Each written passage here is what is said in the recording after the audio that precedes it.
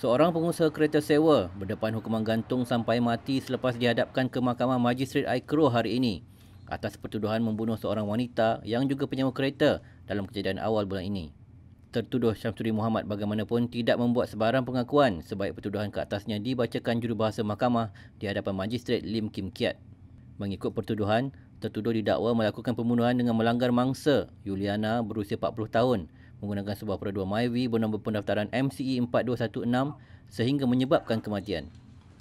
Justru tertuduh didakwa melakukan kesalahan mengikut Seksyen 302 Kanun Keseksaan yang memperuntukkan hukuman mati.